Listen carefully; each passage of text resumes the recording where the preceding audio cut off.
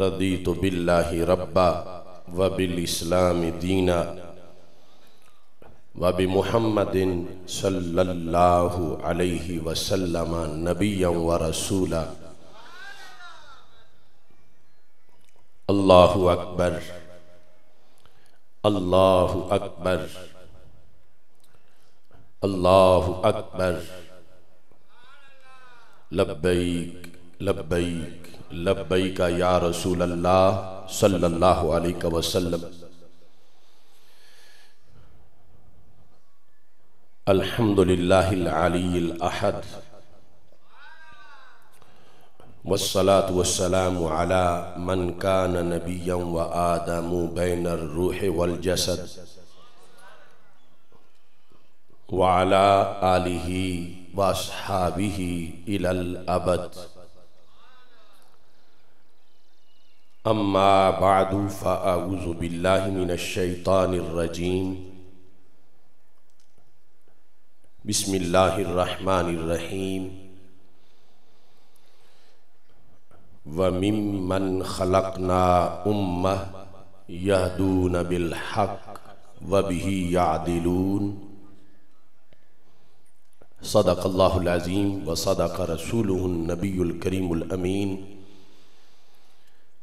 ان اللہ و ملائکتہ یصلون علی النبی یا ایوہ الذین آمنوا صلو علیہ وسلموا تسلیما الصلاة والسلام علیکہ یا سیدی یا رسول اللہ وعلا آلیکہ و اصحابیکہ یا حبیب اللہ الصلاة والسلام عليك يا سيدي يا خاتم النبيين وعلى آلك وأصحابك يا أول النبيين ويا آخر النبيين مولاي صلي وسلم دائما أبدا على حبيبك خير الخلق كلهم منزع عن شريك في محاسنه فجوهر الحسن فيه غير منقاسم محمد تاج رسل الله قاتبة محمد صادق الأقوال والكلم. محمد ذكره روح لأنفسنا محمد شكره فرض على الأمم. رب صلی وسلم دائما ابدا على حبیبک خیر الخلق کلہم توحید اور رسالت کی خاطر ہر باطل سے ٹکرائیں گے۔ ہم فکر مدینہ کا پرچم ہر چوٹی پہ لہرائیں گے۔ معبود فقط ہے ایک خدا، مسجود فقط ہے ایک خدا۔ ہم اللہ کی صداؤں سے سینوں کو پھر گرمائیں گے۔ کیوں شرک کے فتوے لگتے ہیں توحید کے ان مت والوں پر؟ ہم ان کج فکر خطیبوں کو راز توحید بتائیں گے۔ تعظیم نبی کا سنتے ہی جنہیں سوزش سی ہو جاتی ہے۔ شوق توحید کے شربت سے ہم ان کا روگ مٹائیں گے۔ ہم آل نبی کے متوالے، حسنین کے مشن کے وارث۔ ہم پھر سے شمر یزیدوں کو قربہ کی شان بتائیں گے۔ اصحاب نبی کے چرچے سے جو بغض کی آگ میں جلتا ہے ہم رضی اللہ کی پھہاروں سے وہ جلتی آگ بجھائیں گے۔ یہ سن لیں چور اندھیروں کے، اب آگئے دور سویروں کے۔ ہم فکر رضا کی کرنوں سے ہر بستی کو چمکائیں گے۔ یہ بھول ہے تیری واشنگٹن کہ دنیا پہ تو راج کرے۔ رحمان کے بندے ہر بستی پہ مدنی رنگ چڑھائیں گے۔ میں رب کی آس پہ کہتا ہوں، سرکار مدینہ کے صدقے، وہ دن بھی آئے گا آصف، ہم دنیا پہ چھا جائیں گے۔ انشاءاللہ تبارک و تعالی۔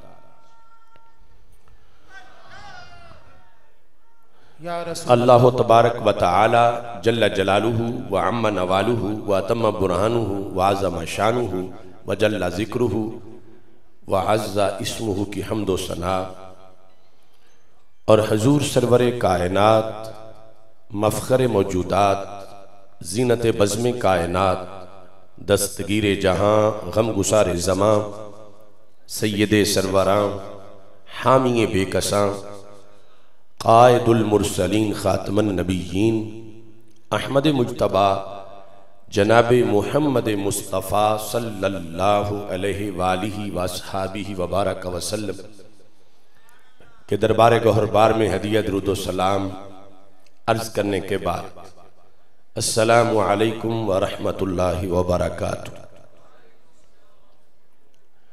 رب ذوالجلال کا کروڑوں بار شکر ہے کہ ماہ ربیع الاول شریف کے منور، مقدس، معطر لمحات میں ہمیں آستانہ عالیہ قادریہ قاسمیہ پر مشائخ ڈوڈا شریف کے عرص مقدس کی تقریبات میں شرکت کی سعادت حاصل ہو رہی ہے۔ میری دعا ہے خالق کائنات جل جلالہ ان نفوس قدسیہ کے درجات کو مزید بلند فرمائے۔ ان کے فیوز و برکات سے اللہ تعالی ہمیں بھی حصہ عطا فرمائے۔ اور رب ذوالجلال اس مرکز کو مزید عروج عطا فرمائے۔ القاسم ٹرسٹ کی طرف سے مشائخ ڈھوڈا شریف رحمہ اللہ تعالیٰ کا مشن اللہ کے فضل و کرم سے بطری کے آسن جاری ہے۔ اور ہمہ جہت ہے جس میں مدارس کے ذریعے سے بھی کردار ادا کیا جا رہا ہے۔ عوام کے لیے تبلیغی، تربیتی، تزکیہ کے لحاظ سے کورسز رمضان شریف میں اعتقاف کی صورت میں اور دیگر بہت سے پروگرام کے ذریعے یہ مشن آگے بڑھایا جا رہا ہے۔ یقیناً مشائق کی نظر سے اور ان کے فیض سے ہی یہ سب کچھ آگے کارواں بڑھتا جا رہا ہے۔ میری دعا ہے رب ذوالجلال اس مرکز کو مزید ترقیاں عطا فرمائے۔ تحریک لبیک یا رسول اللہ صلی اللہ علیہ وسلم کے عظیم رہنما علامہ محمد عبد الرشید اویسی صاحب ابھی آپ حضرات سے محو گفتگو تھے۔ سٹیج پر کثیر تعداد میں علماء کرام رونق افروز ہیں۔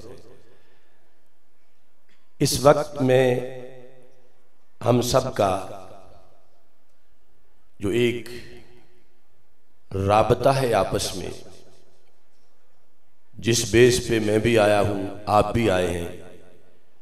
جس کی وجہ سے ہمیں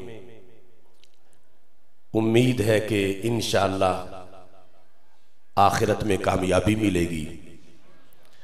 جس بیس پر ہماری نمازیں قبول ہوتی ہیں، روزے، حج زکاة وہ بیس ہم سب کی مسلک اہل سنت و جماعت ہے۔ یہ اس مرکز کا بھی ترہ امتیاز ہے۔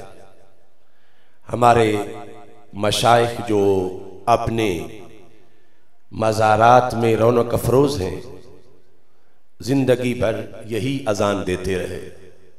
اور زندگی بھر انہوں نے یہی سبق پڑھایا۔ اہل سنت یہ مقدس نام رسول اکرم نور مجسم شفیع معظم صلی اللہ علیہ وسلم کی زبان سے حق پرستوں کو عطا کیا گیا۔ ہمارے دو تعارف ہیں۔ جب یہود و نصارہ کے مقابلے میں بات ہو رہی ہو، ہندو سکھوں کے مقابلے میں بات ہو رہی ہو، اس وقت ہماری پہچان مسلم ہے۔ اور جب اسلام کی چھتری کے نیچے جو مختلف طبقات موجود ہیں، ان کے مقابلے میں ہماری پہچان اہل سنت و جماعت ہے۔ نبی اکرم نور مجسم، شفیع معظم صلی اللہ علیہ وسلم سے حضرت سیدنا امام حسین رضی اللہ تعالی عنہ نے یہ حدیث روایت کی ہے۔ کربلا کے میدان کے اندر الکامل کی تیسری جلد میں ہے۔ آپ نے فرمایا کہ میں نے خود اپنے نانا جی سے یہ سنا، مجھے اور میرے بھائی جان امام حسن رضی اللہ تعالی عنہ کو سرکار نے فرمایا، انتما سیدہ شباب اہل الجنہ وقررت عین اہل السنہ۔ کہ حسن حسین، تم دونوں جنتی جوانوں کے سردار ہو اور تم دونوں اہل سنت کی آنکھوں کی ٹھنڈک ہو۔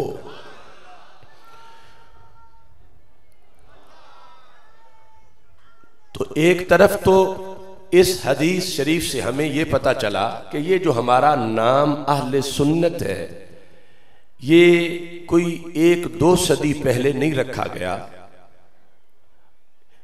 اگر یہ ہمارا نام حضرت خواجہ محمد شفیع صاحب قادری رحمہ اللہ تعالی رکھتے تو پھر بھی ہمیں اس پہ فخر ہوتا۔ اگر داتا صاحب رکھتے تو پھر بھی ہم فخر سے بیان کرتے۔ لیکن یہ نام تو نبیوں کے سلطان حضرت محمد مصطفیٰ صلی اللہ علیہ وسلم نے ہمیں عطا فرمایا۔ سب سے پہلے آپ کی زبان سے یہ لفظ نکلے۔ قررت عین اہل سنہ کہ حسن حسین، تم اہل سنت کی آنکھوں کی ٹھنڈک ہو۔ تو یہ ہمارا جو نام ہے اس پر میں تھوڑی سی گفتگو کرنا چاہتا ہوں۔ قرآن مجید برہان رشید میں رب ذوالجلال نے اہل حق کا نام اہل عدل رکھا ہے۔ وَمِمَّنْ خَلَقْنَا أُمَّةً۔ اللہ تعالیٰ فرماتا ہے، جنہیں ہم نے پیدا کیا، ان میں سے کچھ لوگ ایسے ہیں۔ اگرچہ وہ کچھ اربوں خربوں افراد ہیں، لیکن مجموعی جو رب نے پیدا کیے ہیں، ان انسانوں میں سے کچھ ایسے ہیں۔ سارے اللہ کے جو پیدا کردہ لوگ ہیں، ان کی بات نہیں ہو رہی۔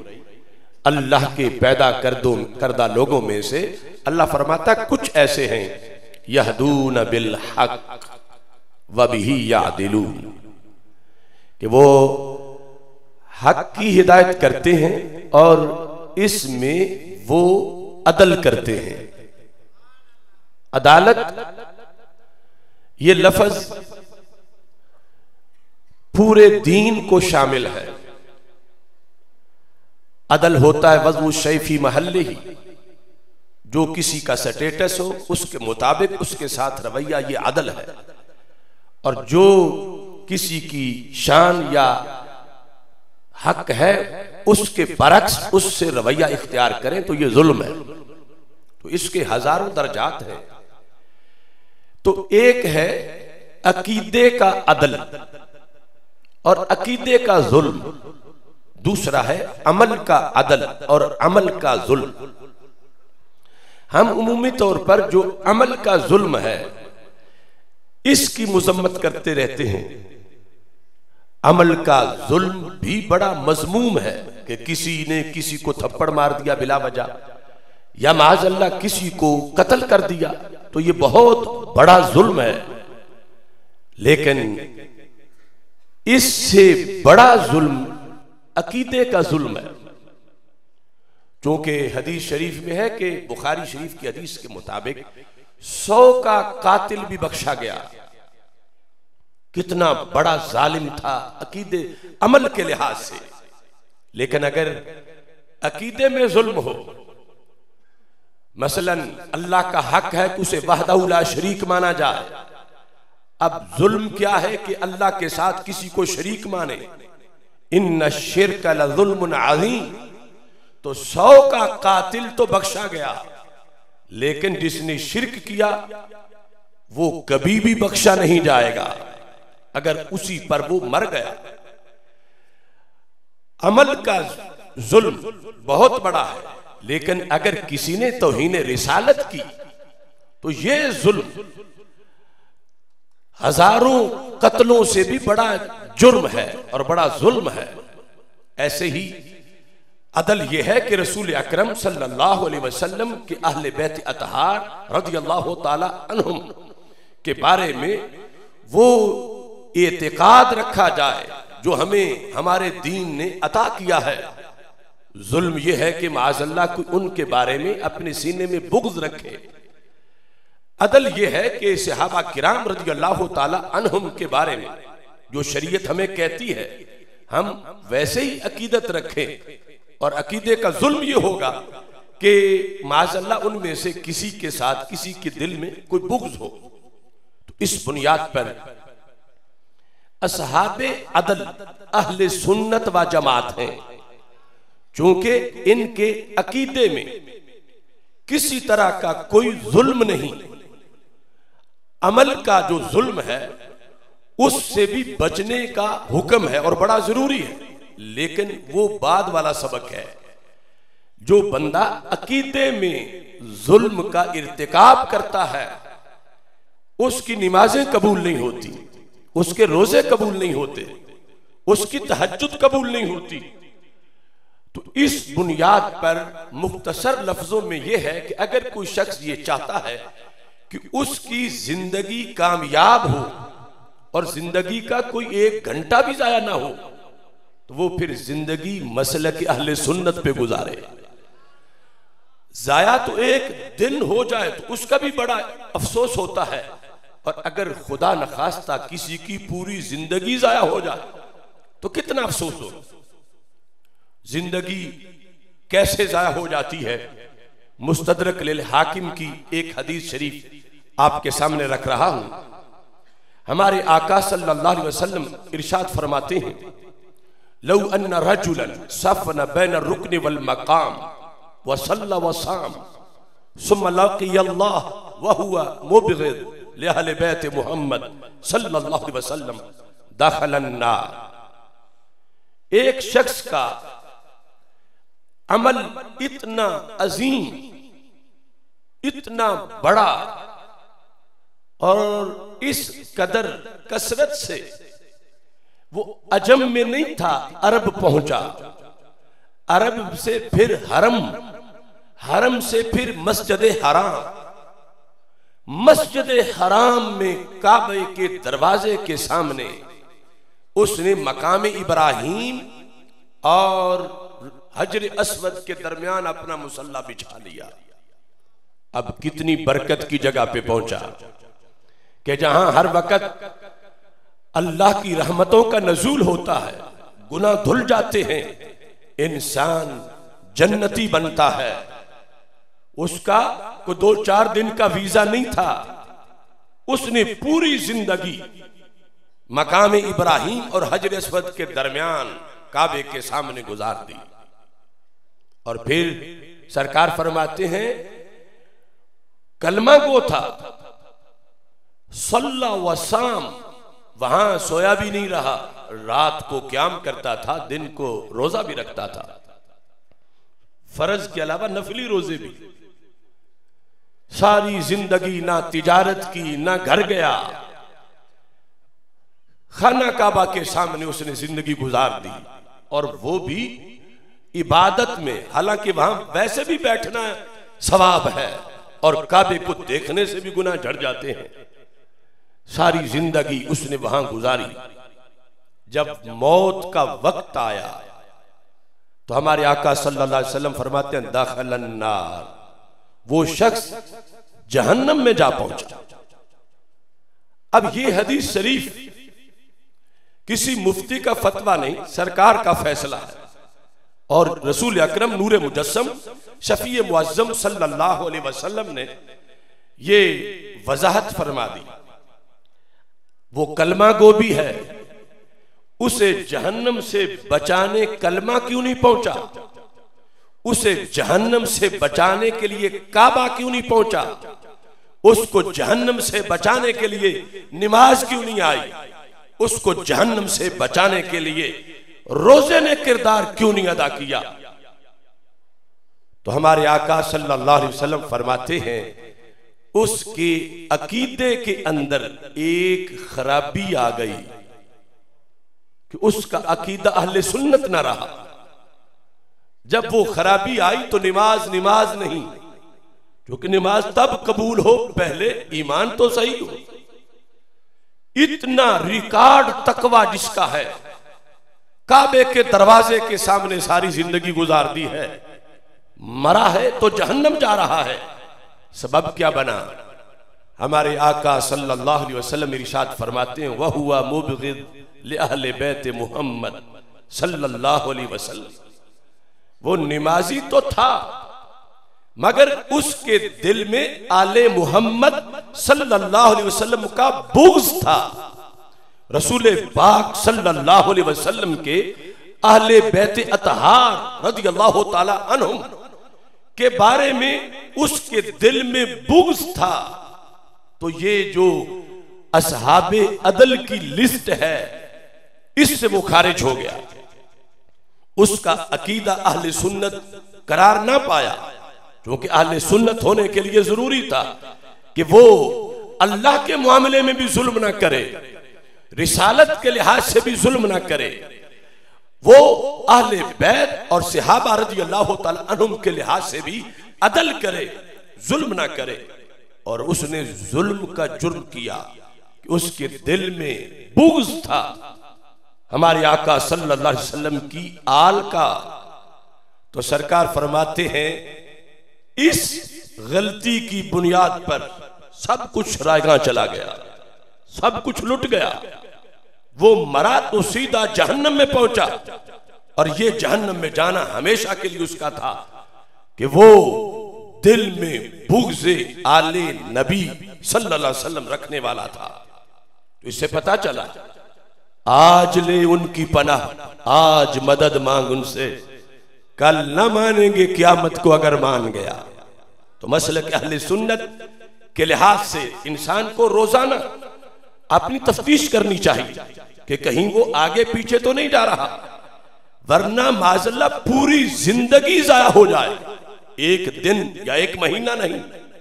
تو اب یہ عدالت جب اس نے چھوڑی اہل بیت اتحار رضی اللہ تعالیٰ عنہ کے معاملہ میں، تو کوئی چیز بھی اسے فائدہ نہیں دے سکی۔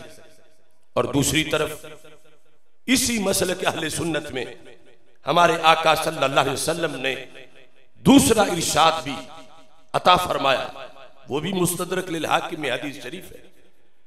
ہمارے آقا صلی اللہ علیہ وسلم فرماتے ہیں، ان اللہ اختارنی واختار علی اصحابہ اللہ نے ازل سے ہی اپنے حبیب کی سیٹ پہ مجھے چنا۔ ازل سے اس نے مجھے اپنا حبیب بنایا۔ اور پھر رب نے میرے لیے خود ہی میرے اصحاب چنے۔ یعنی یہ اہتمام ہے حبیب کے لیے کہ رب ذوالجلال نے خود میرے لیے میرے یار چنے۔ اب اگر ہمارے آقا صلی اللہ علیہ وسلم اصحاب کا انتخاب خود فرماتے تو ہمارے عقیدے کے مطابق تو سرکار کو کل کا بھی پتا تھا، پرسوں کا بھی پتا تھا، قیامت تک کا پتا تھا۔ اور اگر کسی کے دل میں کھوٹ ہوتی تو سرکار منتخب نہ فرماتے۔ اور یہاں تو منتخب ہی رب ذوالجلال نے کیا ہے۔ اگر سرکار منتخب کرتے اپنے اصحاب کو تو اگر کوئی ان میں سے کسی کو ڈی گریڈ کرتا، تو اعتراض تو سرکار کے انتخاب پہ ہونا تھا کہ آپ نے ناہل کو اپنے لیے چن لیا۔ تو وہ شخص کیسے امتی ہونے کا دعوے دار ہو سکتا ہے؟ اور یہاں تو سرکار فرماتے ہیں، میں نے انتخاب نہیں کیا، میرے رب نے انتخاب کیا ہے۔ اب جیسے پہلی حدیث تم نے سنی اس حدیث کے لحاظ سے بھی اب جو شخص ان صحابہ رضی اللہ تعالی عنہم میں سے کسی کے بارے میں میلا خیال رکھتا ہے، گندی سوچ رکھتا ہے، تو یہ نہ سمجھا جائے کہ یہ معمولی بات ہے۔ اہل بیت اتہار علیہ مردوان کے لحاظ سے جس طرح میلی سوچ انسان کو برباد کر دیتی ہے صحابہ کا معاملہ بھی معمولی نہیں ہے، کیونکہ ان کا انتخاب رب جلال نے کیا ہے۔ تو اگر یہ کہا جائے کہ فلاں صحابی نے فلاں موقع پر اس طرح کیا، اس طرح کیا، کوئی اس طرح کے معاملات اور تنقید ان پر کوئی کر رہا ہے، تو معاذ اللہ وہ رب کے علم پر تان کر رہا ہے کہ رب کو پتہ ہی کوئی نہیں تھا کہ ان لوگوں نے بعد میں کیا کرنا ہے۔ اور اللہ نے بے خبری میں معاذ اللہ چن لی ہے تو رب کو جو جہالت کا تانا دے رہا ہو، وہ مسلمان کیسے ہو سکتا ہے؟ تو اس بنیاد پر ہمارے آقا صلی اللہ علیہ وسلم نے فرما، فمن سبہم فعلیہ لانت اللہ والملائکہ والناس اجمعین کہ صحابہ کے معاملے میں اگر کسی نے ان پر تنقید کی، سرکار فرماتے، اس پر اللہ کی لانت فرشتوں کی لانت اور سارے انسانوں کی لانت فرما، لا یقبل منہ یوم القیامت صرف ولا عدل۔ یہ بندہ جس نے دنیا میں نفل پڑے فرض پڑے نمازیں، روزے، سب کچھ کیا، لیکن عقیدے کے اندر صحابہ کے کسی ایک فرد کے بارے میں کھوٹ تھی۔ تو سرکار فرماتے ہیں، جب قیامت کے دن میدان معاشر میں جہاں لوگوں کی نمازوں کے ثواب کے ڈھیر اور عبادات کے ڈھیر ہوں گے، یہ جائے گا کہ جہاں میرا نام لکھا ہے، میں دیکھوں میری نمازوں کا ثواب، میرے روزے، میرا حج، میری زکاتیں، صدقات، جو دنیا بھر میں میں نے سماجی خدمت کی کہ میرا ثواب کتنا ہے۔ جب پہنچے گا تو وہاں ایک بھی نیکی نہیں ہوگی۔ ڈھونڈے گا نمازیں کہاں؟ روزے کہاں؟ سرکار فرماتے ہیں اسے جواب ملے گا، لا یقبل منہ یوم القیامت صرف ولا عدل کہ جو اصحاب نبی صلی اللہ علیہ وسلم میں سے کسی کے بارے میں مندی سوچ رکھتا ہے، اس کو نمازوں کا ثواب نہیں ملتا۔ اس کے نہ فرض قبول ہوتے ہیں، نہ نفل قبول ہوتے ہیں۔ تو پھر ساری زندگی ایک بغض کی بنیاد پر برباد ہو گئی۔ تو جو انسان کی پوری زندگی کو کامیاب بنائے، وہ مسلک مسلک اہل سنت و جماعت ہے۔ کہ جس میں ہمیں یہ بتایا گیا رسول پاک صلی اللہ علیہ وسلم کی طرف سے کہ اگر تم نے میری شفاعت کا جام پینا ہے اور میرے غلاموں کی لائن میں کھڑے ہونا ہے، تو پھر ساری عبادتیں تب قبول ہوگی کہ جس وقت تم میری آل کا بھی ادب کرنے والے ہوگے اور میرے اصحاب کا بھی ادب کرنے والے ہوگے۔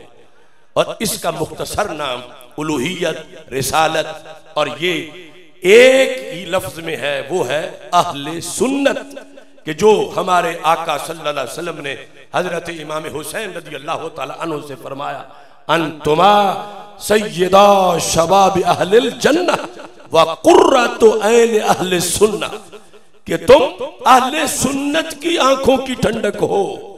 تو یہ مقدس نام ہم نے نہیں گھڑا، یہ سرکار کا دیا ہوا توفہ ہے۔ اس واسطے ہمارے بزرگ اس نام پر قائم رہے۔ اور اس حد تک اس نام کی برکت ہے۔ امام احمد بن حنبل کا یہ قول طبقات حنابلہ میں موجود ہے۔ آپ فرماتے ہیں کہ عقیدے کا اہل سنت ہونا اس کی اتنی برکت ہے۔ عمل کا معاملہ بہت اہم ہے، لیکن وہاں بخشش ہو جاتی ہے اور جو عقیدے کے پیپر میں فیل ہو جائے، اس کا آگے کوئی سلسلہ ہے ہی نہیں۔ تو کہنے لگے قبر رجل قبر رجل من فساق اہل سنہ روضتم من ریاض الجنہ۔ امام احمد بن حنبل جیسا امام، تقوی و پریزگاری کا ایک بہت بڑا مینار۔ ان کے لگتے جگر سند سے پھر آگے طبقات حنابلہ اور دیگر کتابوں میں ان کا یہ فتوہ موجود ہے۔ کہنے لگے، بندہ اگر عقیدے کا سنی ہو اور اس میں کوئی کھوٹ نہ ہو ڈاکومنٹس آف اہل سننا اس کے مطابق اس کا عقیدے کا پیپر اگر پاس ہو، عمل میں اگرچہ وہ فاسق و فاجر ہو۔ تو امام احمد بن حنبل کہنے لگی، کہنے لگے کہ اس کی قبر جنت کے باغوں میں سے باغ ہوتی ہے۔ نعرہ تکبیر۔ قبر راجول من فساق اہل سنہ روضہ تم من ریاض الجنہ۔ کہ سنیوں کا جو فاسق ہو، اس کی قبر بھی جنت کے باغوں میں سے باغ ہوتی ہے۔ اور جو پھر سالے ہو، نیک ہو، اور پھر جو اللہ کا ولی ہو، وہ کس قدر اس کی قبر روزہ ہوگی؟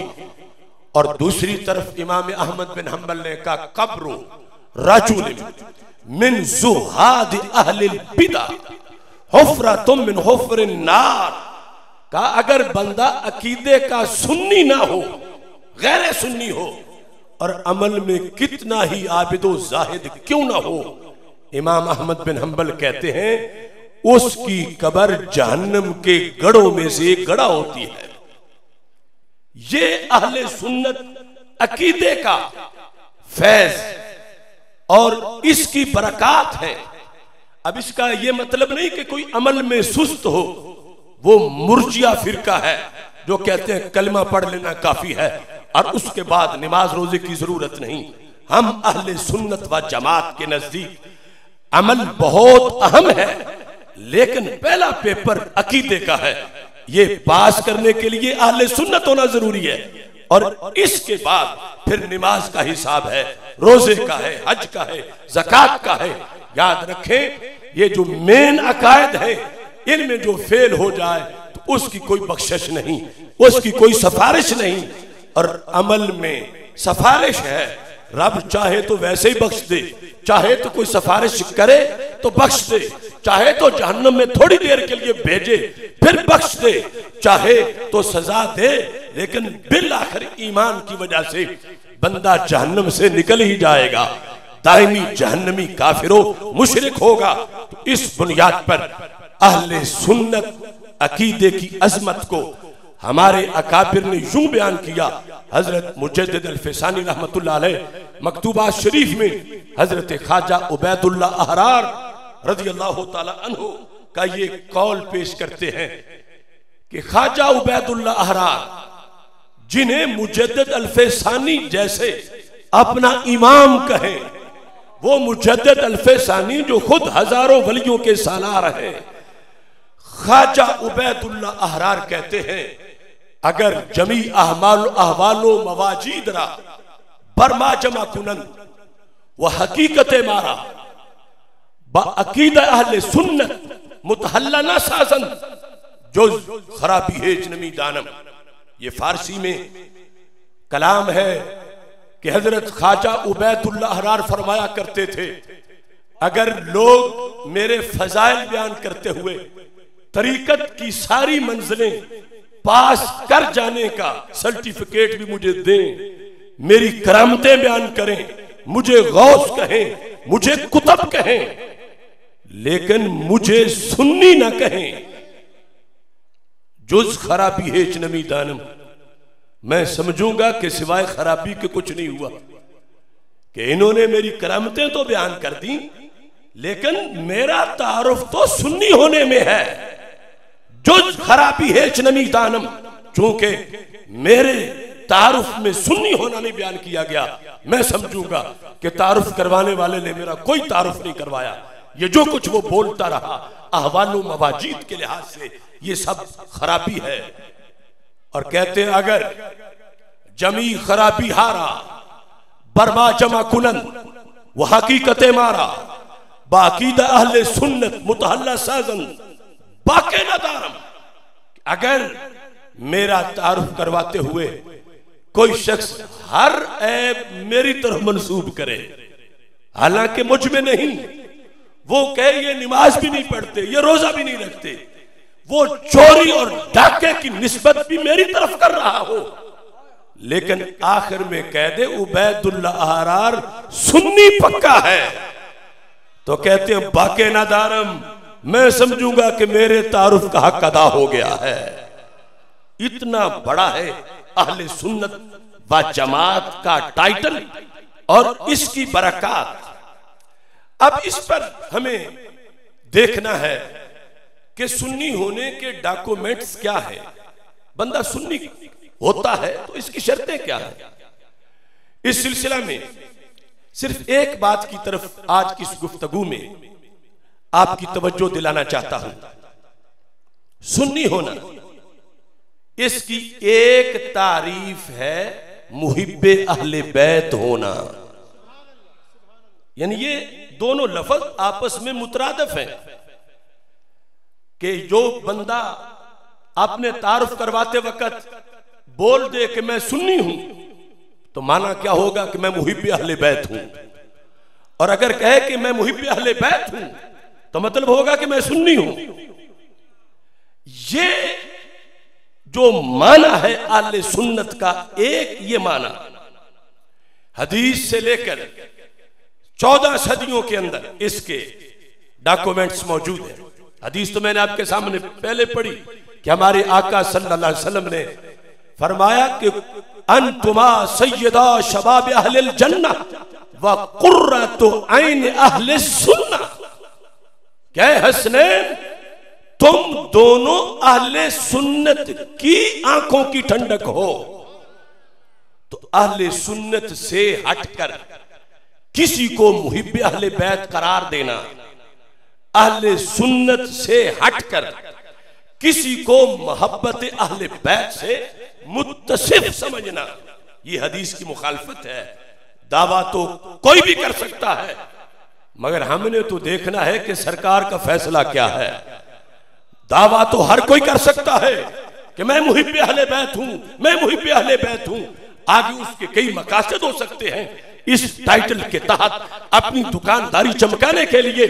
لیکن ہم نے دیکھنا ہے کہ جن کی محبت کی بات ہے، وہ خود کس کی محبت کو قبول کر رہے ہیں۔ تو ہمارے آقا صلی اللہ علیہ وسلم سے یہ حدیث امام حسین نے پڑھی، جن سے بڑا کوئی محدث نہیں ہو سکتا اور کوئی گواہ نہیں ہو سکتا۔ اور فیصلہ ہے، نبیوں کے سلطان حضرت محمد مصطفیٰ صلی اللہ علیہ وسلم کا کہ اگر اہل سنت کی تعریف سمجھنی ہے، تو اس کی تشریح یوں کی جا سکتی ہے کہ سنی وہ ہے، اگر اس کا سینہ چیرا جائے تو آدھے پہ حسن لکھا ہو، آدھے پہ حسین لکھا ہو۔ رضی اللہ تعالیٰ تو یہ حدیث شریف میں فیصلہ ہوا کہ روافظ جتنا بھی دعویٰ کر لیں انہیں کبھی بھی اس محبت کا سپیشلسٹ کہنا تو دور کی بات ہے۔ اس محبت کی الف بے بھی ماننا ان کے لیے سرکار کے فرمان کی خلاف ورزی ہے۔ کیونکہ ہمارے آقا صلی اللہ علیہ وسلم نے فرمایا کہ تمہاری محبت اہل سنت کے سینوں میں ہے۔ جو الکامل کی تیسری جلد سے میں حدیث پڑھ رہا ہوں۔ آج ہم ایک بھیڑ چال دیکھتے ہیں۔ روافظ جن کو عرف عام میں شیعہ کہا جاتا ہے۔ انہوں نے مختلف افسانے گھڑ رکھے ہیں۔ جب ان میں نفس محبت اہل بیت ہی نہیں، ایک فیصد بھی۔ تو آگے ان کا کوئی طریقہ محبت اہل بیت میں معیار کیسی ہو سکتا ہے؟ ان کا کوئی خطبہ اور ان کی کوئی رسم و رواج کی حیثیت کیا ہو سکتی ہے؟ آج انہیں آئیڈیل قرار دے کر کہ وہ محبت اہل بیت والے ہیں اور ہم اہل سنت بھی ان کو فالو کریں۔ ایک پورا گروپ اہل سنت سے ان کی اس جعلی محبت کو جسے سرکار کنڈیم کر چکے ہیں کہ یہ روافظ میں حب اہل بیت نہیں ہے، اس جھوٹی محبت کی طرف اہل سنت کو لے جا رہے ہیں۔ ان کے گڑے ہوئے قصے، گڑی ہوئی کہانیاں، ان کے وہ جملے جس میں آل کی بھی توہین ہے، اصحاب کی بھی توہین ہے، اور جس میں واضح طور پر کفر کا ارتکاب کیا جاتا ہے کہ کبھی کسی کو انبیاء پر فضیلت دی جا رہی ہے، کبھی کسی کو انبیاء پر فضیلت دی جا رہی ہے۔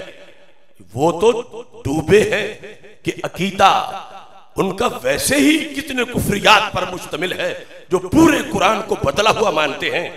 لیکن یہ لوگ کتنے ظالم ہیں کہ جو روافظ کو حب اہل بیت میں آئیڈیل قرار دے چکے ہیں اور پھر اپنی محرومی اور اپنے لحاظ سے یہ جو انہیں احساس کمتری ہے کہ اگر وہ ایسا کرتے ہیں تو ہمیں بھی ایسا کرنا چاہیے۔ اگر وہ اپنی محافل میں خرافات لے آئے ہیں، تو ہمیں بھی کرنا چاہیے۔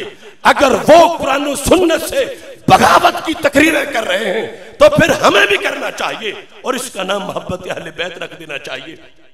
یہ آج فتنہ ہے۔ محبت اہل بیت، اہل سنت ہونا ہے۔ سرکار کے حکم کے مطابق حضرت مجدد الفسانی رحمت اللہ علیہ نے یہاں بڑی پتے کی بات لکھی مکتوبات شریف میں۔ آپ نے فرمایا کہ رافضی ہونا کیا ہے اور سنی ہونا کیا ہے؟ رافضی ہونا یعنی اہل تشیع ہونا کیا ہے؟ کہتے ہیں محبت اہل بیت رفضنیس تبری از خلفاء سلاسہ رفضس آپ فرماتے ہیں کہ اہل بیت کا محب ہونا یہ رافضی ہونا نہیں ہے۔ جس طرح کے لوگوں نے مشہور کر دیا۔ مجدد الفیسانی مکتوبات شریف میں اس حقیقت کو واضح کر رہے ہیں۔ ہمارے اجتماع میں جگر گوشہ غزالی زماں حضرت پیر سید حامد سعید شاہ صاحب کاظمی حافظہ اللہ تعالی رونق افروز ہو چکے ہیں۔ اور ابھی تھوڑی دیر بعد آپ کا انشاءاللہ خطاب شروع ہو جائے گا۔ میں اپنی گفتگو کو سمیٹ رہا ہوں۔ توجہ کرنا اس پر کہ کتنی بڑی دھاندلی ہو رہی۔ مجدد صاحب نے کہا کہ حب اہل بیت رفضنیس چنا کے گمامی برن تبری از خلفاء سلاسہ رفضس کہا کہ اہل بیت کی محبت شیعہ ہونا نہیں ہے۔ خلفاء سلاسہ سے بغض یہ شیعہ ہونا ہے۔ توجہ کریں۔ محبت اہل بیت ہے سنی ہونا۔ محبت اہل بیت یہ شیعہ ہونا نہیں ہے۔ شیعہ ہونا کیا ہے؟ تبری از خلفاء سلاسہ تینوں خلفاء، حضرت صدیق اکبر، حضرت فاروق اعظم، حضرت عثمان غنی رضی اللہ تعالی عنہم۔ ان سے بغض رکھنا یہ ہے شیعہ ہونا۔ اور یہاں اس حقیقت کو آپ نے اس انداز میں بیان کیا۔ وہی حقیقت المستند میں آلہ حضرت رحمت اللہ علیہ نے بیان کی۔ اور وہی چودہ صدیوں میں بتایا گیا۔ مجدد الفسانی رحمت اللہ علیہ کہتے ہیں کہ اگر یہ لوگ صحابہ کو گالیاں اہل بیت کے پیار کی وجہ سے دیتے ہیں، تو آپ نے کہا کہ فرض کر لیا جائے اگر ان کے کہنے پر، محض اللہ کہ یہ خلفۂ سلاسہ دشمن تھے اہل بیت کے رسول اکرم صلی اللہ علیہ وسلم کے۔ تو آپ فرمانے لگے، ان سے تو کہیں بڑے دشمن ابو جال اتبا شہبہ تھے۔ کہیں بڑے دشمن۔ تو پھر یہ اپنی مجلسوں میں کبھی ان کو تو گالی نہیں دیتے۔ کبھی ان کے ذاکر ابو جال کو گالی نہیں دیتے، ابو لاب کو گالی نہیں دیتے اتبا شہبہ کو گالی نہیں دیتے۔ دیتے ہیں تو ابو بکر و عمر کو دیتے ہیں۔ تو پتا چلا اگر آل کے پیار کی وجہ سے ہوتا مسئلہ، تو پھر تو سب سے پہلے وہ جو تھے دشمن اصل میں، ان کے بارے میں بولتے۔ لیکن یہ انہیں تو کچھ نہیں کہتے۔ اور یہاں بولتے ہیں۔ تو پتا چلا کہ یہ بیماری ان کی اصحاب سلاسہ کا بغض ہے اور اہل بیت کی محبت وجہ نہیں ہے۔ اور وہی جو حقیقت ہمارے آقا صلی اللہ علیہ وسلم نے حدیث میں واضح کر دی۔ فمن احبہم فبحبی احبہم فمن ابغدہم فببغدی ابغدہم اور قررت عین اہل سنہ کہہ کر ہمارے آقا صلی اللہ علیہ وسلم نے یہ واضح کر دیا کہ سنی ہونے کا معنی محب اہل بیت ہونا ہے اور شیعہ ہونا کا معنی اصحاب سلاسہ کا بغض رکھنا ہے اور آج کنویں کو مینار اور مینار کو کنواں قرار دیا جا رہا ہے اور اس میں ایک چیز، ویسے تو یہ مضمون بڑا طویل ہے، صرف ایک حدیث بیان کر کے اپنی بات ختم کر رہا ہوں۔ آج جس وقت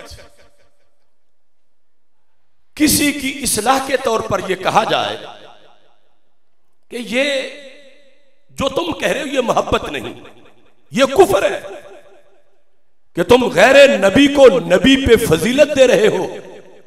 یہ ایمان نہیں۔ اس کے جواب میں کہا جاتا ہے، ہم نے محبت کرنی ہے اہل بیت سے۔ ہم نے حضرت مولا علی رضی اللہ تعالیٰ سے محبت کرنی ہے۔ اور یہ لوگ ملا آگے دیواریں بنا رہے ہیں کہ حد بتاتے ہیں، ہم نے کوئی حد تسلیم نہیں کرنی۔ ہم اپنی مرضی کے مطابق جیسے ہم چاہیں گے، مولا علی سے پیار کریں گے۔ ہمیں کون روک سکتا ہے؟ تو اس پر سننا چاہیے سرکار کے فرمان کو۔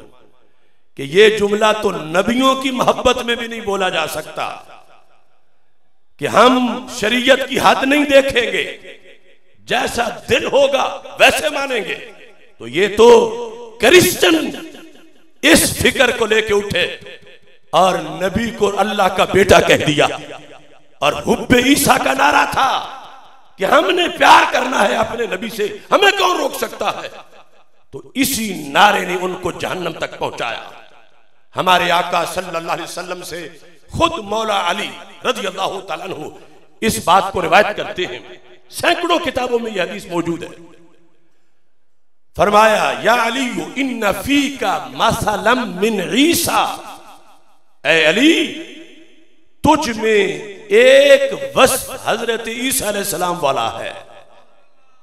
ایک شان، ایک جھلک۔ اللہ کے نبی حضرت عیسیٰ علیہ السلام والی ہے۔ کیسے؟ فرمایا، ان کے بارے میں دو دھڑے جہنم میں گئے۔ تیسرا بچا، اور تمہارے بارے میں بھی دو ٹولے جہنم میں جائیں گے۔ تیسرا بچے گا۔ کیسے؟ فرمایا حبت نسارا نسارا نے حضرت عیسیٰ علیہ السلام سے پیار کا دعویٰ کیا۔ ان کا نعرہ پیار کا تھا۔ حب عیسیٰ حب عیسیٰ۔ انہیں بتایا جا رہا تھا کہ عیسیٰ علیہ السلام کی شان بڑی ہے، مگر یہ اللہ نہیں ہے۔ یہ اللہ کے بیٹے نہیں ہیں۔ وہ کہتے تھے، یہ کیوں ہمیں روکتے ہیں پیار سے؟ نبی کا پیار ہے، پیار اچھی چیز ہے۔ جتنا بھی ہو، اس کو روکتے کیوں ہو؟ تو سرکار فرماتے ہیں، ان کی یہی پالیسی انہیں جہنم لے گئی۔ پیار کے دعوے میں جہنمی بنے، کرسچن۔ کیوں؟ حد نہیں مانی شریعت کی قائم کردہ، اور کہا ہم پیار میں کوئی حد نہیں مانتے۔ دوسری طرف اب غدت الجہود حتی بہت امہ یہود نے بغض کیا حضرت عیسیٰ علیہ السلام سے۔ اور معاذ اللہ جو سچی شانیں تھیں، وہ بھی ماننے سے انکار کر دیا۔ اور یہاں تک کہ پاک مریم رضی اللہ تعالی عنہ پر معاذ اللہ گناہ کا الزام لگا دیا۔ یہود نے فرمایا، علی، تمہارے بارے میں بھی دو ٹولے جہنم جائیں گے۔ یہ تاجدار ختم نبوت، حضرت محمد مصطفیٰ صلی اللہ علیہ وسلم کا علم غیب ہے اور ختم نبوت کی جو دس ہزار حدیثیں ہیں، ان میں سے ایک خطبہ ہے۔ مستقبل کی خبر دیتے ہوئے جب سرکار بول رہے تو اس وقت مسئلہ نہیں تھا۔ بعد میں فرمایا، تمہارے بارے میں بھی علی، دو قسم کے لوگ جہنم میں جائیں گے۔ ایک پیار کے نعرے میں اور دوسرے بغض کے جرم میں۔ اور تیسری جماعت جنت پہنچے گی۔ سرکار کے لفظ سنو۔ حضرت علی رضی اللہ تعالی عنہ کو اس پر اتنا یقین آ گیا۔ آپ نے اگلے جملے خود بولے۔ اللہ حالانکہ فی یا اسنان۔ قیامت تک کے لوگوں یاد رکھنا، میرے بارے میں دو دھڑے ہلاک ہوں گے، جہنمی بنیں گے۔ ایک وہ جو میری محبت میں آگے شریعت کی حد نہیں مانیں گے۔ کہیں گے ہم نے علی سے پیار کرنا ہے، ہم نے علی علی کرنا ہے، کون روک سکتا ہے؟ فرمایا، جس وقت وہ شریعت کی حد سے آگے بڑھیں گے، تو یہ محبت محبت نہیں رہے گی، یہ کفر بن جائے گا۔ اور وہ اس وجہ سے جہنمی بنیں گے۔ اور دوسری طرف سے فرمایا جو رب نے مجھے سچی شانیں دی ہیں، انہیں وہ بھی ہضم نہیں ہوگی انہیں اس سے بھی مروڑ اٹھے گا۔ انہیں میرے فضائل و کمالات کے سننے کی، سنانے کی توفیق نہیں ہوگی۔ میرا نام لینے سے ان کے چہرے کے تیور بدل جائیں گے۔ وہ بغض کی بنیاد پر جہنمی بن جائیں گے۔ تو نتیجہ کیا نکلا؟ جنت میں میرے لحاظ سے وہ جائے گا۔ میرے والا جو پیپر ہے کہ جس میں دل میں بغض ایک فیصد کا کروڑواں حصہ بھی نہ ہو اور پیار وہ ہو جو قرآن و سنت نے حکم دیا ہے، تو وہ جنت میں جائے گا۔ تو میں اس عظیم آستانے پر پوری ذمہ داری کے ساتھ یہ حدیث پیش کر کے تمہیں دعوت فکر دے رہا ہوں۔ کہ دیکھو ہمارے آقا صلی اللہ علیہ وسلم کا علم غیب، تیری نظر خارزار شب میں گلاب تحریر کر چکی تھی، اجاڑ نیندوں کے خواب میں انقلاب تحریر کر چکی تھی۔ میرے ذہن کے فلک پر جو سوال چمکے تو میں نے دیکھا، تیرے زمانے کی خاک ان کے جواب تحریر کر چکی تھی۔ کتنا غیب ہے۔ اور یہ خارجی کس منہ سے حدیث پڑھے؟ رافضی کس منہ سے حدیث پڑھے؟ رافضی کو حضم نہیں، جو حدیث میں فیصلہ ہے، اور خارجی کو بھی حضم نہیں، اور پھر اس کا عقیدہ ہے کہ نبی کو تو کل کی بھی خبر نہیں۔ اور یہ تو پندرہویں صدی کے سینوں کی خبر دی جا رہی ہے۔ آج فرقوں میں بٹے ہوئے لوگ ان کے لیے اس آستان نور سے حدیث کی شکل میں میں یہ پیغام دے رہا ہوں۔ کہ زندگی پوری برباد ہو جائے گی۔ اگر اہل سنت والا مسلک نہ ہوا، ایک گھنٹہ بھی بہت قیمتی ہوتا ہے، تو پوری زندگی کے لحاظ سے آج لے ان کی پناہ، آج مدد مانگ ان سے۔ کل نہ مانیں گے، قیامت کو اگر مان گیا۔ اب جن جن کے پاس حب اہل بیت کی الف بے بھی نہیں، انہیں سپیشلسٹ قرار دینے والا ٹولا کتنا بھول پہ ہے، غلطی پہ ہے۔ اور وہ اہل سنت کو اغوا کر کے روافظ کے کیمپ میں داخل کرنے والا ٹولا ہے۔ اور یہ حدیث اہل سنت و جماعت کی حدود کو واضح کر رہی ہے۔ اور اس بنیاد پر میں کہتا ہوں بحمد اللہ ملا حق سے عقیدہ اہل سنت کا پڑا ہے۔ قدسیوں نے بھی کسیدہ اہل سنت کا زمین ہے اہل سنت کی، زمانہ اہل سنت کا۔ بنایا رب نے جنت میں ٹھکانہ اہل سنت کا۔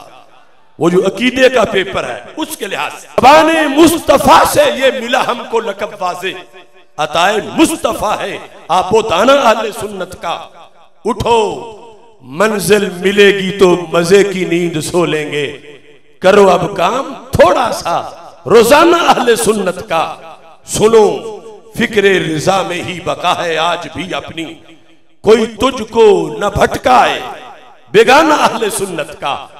اس بنیاد پر آج کشمیری مسلمانوں کے حق میں تجھ سے دعا کی اپیل کرتے ہوئے اللہ ان کی آزمائش کو ختم کرے۔ اپنی گفتگو ختم کر رہا ہوں۔ اور الیاس عمر نامی ملت اسلامیہ کا ہیرو جس نے ناروے میں قرآن چلانے والے شیطانوں پر ٹوٹ کے حملہ جو کیا، اس کو بھی ہم خراج تحسین پیش کرتے ہیں کہ اس نے عاشق قرآن ہونے کا حق ادا کر دیا۔ اللہ تعالی ہم سب کا حامی و ناصر ہو۔ وآخر دعوا ان الحمدللہ رب العالم